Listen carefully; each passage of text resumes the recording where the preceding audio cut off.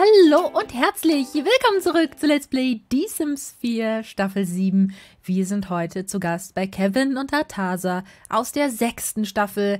Das sind ähm, ein etwas äh, stotternder, unsicherer junger Mann und seine außerirdische Frau mit ihrem außerirdischen Baby und ihren außerirdischen Zwillingen. Ja, ihr habt's richtig gehört. In der letzten Folge haben wir hier ein bisschen umgebaut und eingerichtet, denn ursprünglich haben Ben und Christina mal hier in dieser WG gestartet. Die haben hier gewohnt, in diesem Haus von Kevin.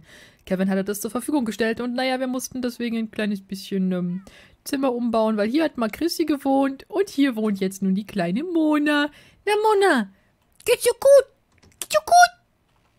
Anscheinend spielt sie gerade aber sie steht nur da und stellt sich Dinge vor. Der Weltraum oder eine Prinzessin. Mona ist gefangen zwischen Bin ich ein Mensch oder bin ich ein Außerirdischer? Mensch oder Außerirdischer? Oh mein Gott, das wird noch ein riesen Zwiespalt in ihrem Leben, nicht zu wissen, wohin sie gehört. Ja, schnapp dir den Roboter. Hui. Am Ende glaubt sie noch, sie ist ein Roboter. Mhm, alles klar. Den Babys geht's gut. Ja, die sind jetzt hier oben im Schlafzimmer. Oh, und ich muss auch mal wieder, Moment, automatische Lichter alle, dafür sorgen, dass wir nicht so eine krasse äh, Stromrechnung kriegen und die Babys in Ruhe schlafen können, weil es dann hier dunkel ist. Was hier dann schon wieder los? Muss pieseln. Na, dann piesel doch. Ja, da draußen wird sich um die Katze gekümmert. Apropos um die Katze kümmern. Äh, füllen? Nein, füllen. Und da schreit auch schon wieder ein Baby. Äh, äh, Aufmerksamkeit. Äh, äh, beschäftige dich mit mir. Äh. Was macht Kevin? Ich dachte, du soll, hast du denn jetzt, Kevin, hast du denn jetzt, ja, das hat das gefüllt. Und die Katze guckt Mona beim Kacker machen zu. Schön. Wie geht's dir beruflich eigentlich voran? Pionier der neuen, äh, Pionier neuer Technologien. Aha. Wird jetzt auch ein bisschen frei, das ist doch schön. Denn, ähm, unser Kevin ist Wissenschaftler. Wahrscheinlich hat er auch deswegen Atasa über. Okay. Überhaupt kennengelernt, wollte ich sagen. Aber das ist ich höre nicht mal Musik. Können wir die mal ein bisschen lauter machen? Mm, Rumba Sim tanzt, alles klar, das was Lautstärke ändern, hoch. Und dazu tanzt man dann so, ja? Hm, das ist mir jetzt neu, aber okay, wenn du meinst. Oh mein Gott, Mona geht allein ins Bett um 23 Uhr. Wahrscheinlich hat sie sich auch gedacht, meine Eltern sind total unfähig. Ich, ich lese mich mal selber in den Schlaf, diese Lappen. Das würde ich ihr übelst zutrauen. Sie geht einfach auch pennen. Tja, Kevin, verkackt, da kommst du jetzt nicht mehr ins Bett rein. Ne? Sie müsste eigentlich bis da durchrutschen. Kann man ihr das? Ich glaube, das ging irgendwie. Nee, nee, das ging nicht. Weil Kevin muss ja auch mal irgendwann schlafen. Siehst du, der wollte jetzt auch schlafen gehen, geht nicht. Moment, ich, ähm, ich, äh, ich guck mal, ich kann bestimmt Sekunde. To be honest, für mich sieht das jetzt nicht so aus, als dürften diese schmalen Bereiche jetzt noch ein Problem sein. Vorhin hieß es ja noch so, äh, ich komme ja nicht zum Baby, wenn das Bett da steht. Naja, wollen wir doch mal sehen. Wollen wir doch mal sehen. Du gehst jetzt hier schlafen und du gehst jetzt hier schlafen.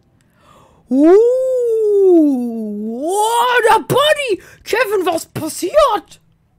Habt ihr das gesehen? Kevin, für Beats, Kevin, vor die Bizeps. Übelst krass, der Bro. Oh, was? Irgendwelche Familien sind umgezogen. Okay, nobody cares.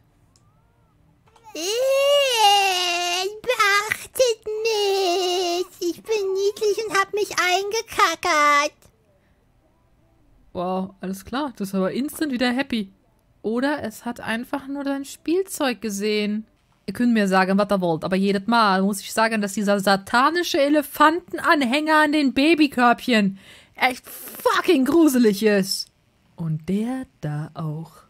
Definitiv. Ich wollte gerade sagen, Kevin nutzt jetzt die kurze Pause ähm, vom Schlafen auch gleich aus, um Kacki machen zu gehen. Aber er geht runter, tanzt.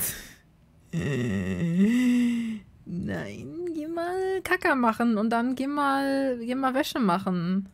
Geh mal, was ist das denn hier überhaupt? Ist die, ist die sauber trocken? Ich weiß, mitten in der Nacht, aber du kannst, ähm, Oh, da ist noch was drin? Nee, hä? Ich bin völlig überfordert. Wie, ist da noch was drin? Wäscht da noch was? Nee, tut's doch nicht. Wieso, wieso können wir nicht Wäsche machen? Doch da in Waschmaschine stecken. Soll doch kein Problem sein. Hier, da, Wäsche machen, in Waschmaschine stecken. Jetzt komm mal hier nicht, ne? Und so. Okay, Mona pennt, alle pennen, Katze pennen. Kevin kümmert sich um 1.27 Uhr nachts um die Wäsche. Das ist irgendwie wie bei mir zu Hause. Außer die Alien-Babys natürlich. Wobei, wenn ich... Was ist denn dein Problem? Was ist dein Problem, Kevin? Kevin! Boah, Kevin, du machst mich so richtig aggressiv. Guck mal, da steht sauber und trocken. Ähm, das ist doch sauber und trocken. Das ist doch... Was ist denn das? Ich will nicht mehr. Steck das, steck das in die Waschmaschine. Diese Kleidung ist bereits sauber. ja, und jetzt? Und jetzt, Kevin! Oh mein Gott, ich hasse euch alle. Ich, ich hasse euch ein bisschen einfach. Was ist die Scheiße hier? Hier steht wieder los. Ja, ey, dieses. Die wollen beide. Diese, mm. Ja, die werden auch noch eine Weile Babys bleiben. Alter, ey. Der eine kackt sich ein, andere hat Hunger. Mona ist wach, weil sie auch Hunger hat. Mädchen, Mädchen, du bist erwachsen. Du bist erwachsen. Hier, schnapp dir selber was. Da, genau, sie, sie macht's schon. Guck da, Gericht nehmen. Das ist so, das ist so ein smartes Baby. Sie ist so smart. Unsere Mona wird mal ein ganz großer Hit, ein ganz großer Star. Schnapp sie dir alle, setz dich hin. Wie sie auch guckt. Mama Papa sind absolut unfähige Bastarde. wow, Mona, alles klar. Wo hast du dieses Wort gelernt? Ja, von ihr natürlich. Oh, pädagogisch wertvolles Programm. Ist das doch jetzt auch. Wo hast du es denn jetzt hingetan? Du sollst es essen, du Dussel. Oh, schade, ist gerade instant schlecht geworden. Können wir uns dann irgendwas anderes nehmen? Ey, bitte mal Kevin um Essen, ey. Kevin, du kümmerst dich jetzt. Nein, Kevin, du kümmerst. Alter, guck, guck sich diese Body an. Kevin, ne? Kevin, Alter. Tut immer so, als wäre so, ne? So ein. Hier, so ein Schlappi ist er aber gar nicht. Ist bitte nicht das vergammelte Sandwich, mein Schatz. Bitte nicht, das ist I. Papa! Mama! Ihr seid kacke! Das Essen hier ist voll scheiße und stinkt! Ah, mein süße kleine Baby. Mama, die gewinn jetzt gut essen. Ich kann, kann, steck sie nicht ins Bett. Setz sie einfach, tu doch irgendwas. Du bist unfähig, geh zu Papa! Papa! Papa, ich verhungere, das Jugendamt kommt gleich. Gib mir was zu essen oder ich drehe dir den Hals um. Oh, du willst was zu essen? Na, natürlich, Sekunde. Ich ähm, packe dich in deinen Sch Sch Stuhl und dann wird das schon. Alter, hier steht überall so vergammeltes Essen und das machen wir mal aus, ey. Sonst tanzen die wieder die ganze Zeit nur. Was gibt's zu essen? Käsekrecker. Alter, die sind so unfähig, ey. 3.33 Uhr finde ich esse Käsekrecker. Ja, du kannst dann auch bitte mal alles hier aufräumen. Alles aufräumen, bitte. Alles muss weg. Ist hier schon wieder los? Ah, ich nicht mich wohlfühlen. Übrigens, da fühlt sich auch schon wieder ein Baby nicht wohl. Alter, wie oft kacken die sich denn ein? Was geht? Ah, du musst mich kümmern um Kleinen. Ich hätte nicht gewusst, gedacht hätte, dass das mit Baby so anstrengend ist. Kein Wunder, dass man bei uns in Alienwelt äh, Babys lassen macht von Männern und ähm, lässt von den großziehen. Ist viel einfacher. Na du kleiner Scheißer. Wie, sie, wie sah sie eigentlich nochmal als Alien aus? Mach mal deine Tarnung oh. weg. Oh, ja, ja, Babys stinken. Ich habe irgendwie das Gefühl, ihr Vorbau ist dann ein bisschen kleiner oder wird eingequetscht. Aber das ist ihr Alien-Ich. Trägt sie nur diese Outfits? Ja, sie trägt anscheinend nur die Alien-Outfits. Guck mal, das, das hier geht doch klar. Das kannst du doch mal machen. Ja, ne? Ja, das ist doch eine Möglichkeit. So, hier ähm, kannst du sie, wenn du da gerade stehst, wunderbar auch wieder rauslassen. Was, was macht ihr da? Alter, die Folge macht mich jetzt schon wieder krank, ne? Rauslassen, bitte einmal. Kein Wunder, dass ich Magenschleimhautentzündung habe, ey, wenn die sich jedes Mal so bescheuert benehmen. Wenn du Hunger hast, dann hol dir was zu essen. Oder mach was zu essen. Ah, nachher fackelt sie alles. Ach komm, Frühstück servieren. Das ist jetzt, die Nacht ist eh vorbei. So ist das mit Babys. Ja, für Atasa möchte ich auch noch ganz gerne ähm, eine Karriere gestalten, beziehungsweise es wird ja sowas wie die Stylistenkarriere ins Spiel kommen. Es gab ja jetzt einen Livestream von EA, vom Sim-Team, und da haben sie das neue Geländetool gezeigt. Ja, also es gibt jetzt wieder Geländemöglichkeiten in Sim mit dem nächsten Patch, der kommt. Und ähm, es gibt dann eine Stylistenkarriere, mit der man NPCs, also halt vom Spiel generierte Sim, ähm, umgestalten kann, wann immer man will. Ja, zerstörte Bücher, ist völlig egal. Und das haben die Eltern auch verdient. Äh, ja, und äh, sie haben halt noch einiges anderes mit angekündigt. Ich habe dazu ein paar Tweets rausgehauen, beziehungsweise von einem meiner Lieblingszimmer-Tweets einfach retweet. Es war so klar. So klar. Oh, wow, okay, klar. Ich sag's noch, es ist keine gute Idee, sie Frühstück machen zu lassen. Klar, geh mit deinem Kind noch dahin, jetzt geh raus. Oh, ich hab auch keine Ahnung, was das soll. Ah, ich hab Hunger und vermasselt Essen. Ja, dann ersetzt das, ersetzt das. Boden putzen. Ich will erstmal gleich zocken gehen. Ihr bestellt euch jetzt eine Pizza. Ich hab Schnauze voll. Wie war denn das hier? Ähm. Service engagieren. Ich will einfach eine Pizza. Das reicht jetzt. Wir sind erstmal rausgegangen.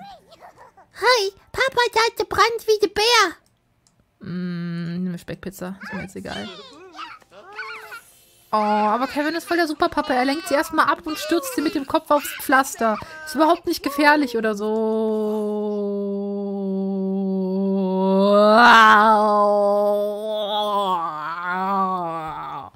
Das ist ein Klohäuschen und davor hat irgendjemand übelst in den Laubbusch gefickt. Ge, ge, ge, ge, gepinkelt. Gepinkelt wollte ich sagen. Alles klar, Mann. Läuft. Ja, viel Spaß beim Spielen, ne? Ähm. Lies Mona mal in den Schlaf, please. Du bist nämlich auch müde ohne Ende. Oh nein, sie ist ja traurig und sie friert halt auch. Ja, obviously, weil es ist einfach scheiße kalt. Geh schlafen jetzt. Schlafen. Ja, so kacke. Jetzt zündet das Haus an. Ihr setzt mich raus in der Kälte, wenn es scheiße kalt ist. Ich bin ein Kleinkind, ich kann sterben, wenn sowas passiert. Krieg nichts zu essen, scheiß Käsekrecker, kann ich schlafen. Ich hasse das hier. Unfähiger Haufen blöder Dover. Sie ist so cute. Oh, Kevin ist sowieso so ein bisschen durch. Ja, ähm. Kevin, dann geh noch mal schlafen. Tu mir den Gefallen, geh schlafen. Und sie kann ja, sie kann sich ja darum kümmern, dich auf die Pizza zu warten. Mach das bitte unten. Du wartest jetzt einfach unten auf die Pizza. Hier wird nicht gezockt. Du hast eine Pizza bestellt. Wo wann kommt denn der? Wie lange brauchen das bitte? Ist ja fast so lang wie unser Pizzadienst. So 3000 Jahre später. Oh, die Katze rennt herum und hat Spaß. Ich kann wohl auch übrigens Trades für Tiere erstellen. Ich weiß nicht, was da passiert ist. Was ist das für eine schreckliche Musik? Schlaflieder hören. Warum? Manchmal will ich einfach nicht. Ja, ich bleib da sitzen und entspann dich. Chill. Einfach schön chillen. Oh mein Gott. Ja, ich wäre auch traurig. Das wird schon werden. Das, das ist übelst, übelst schön. So.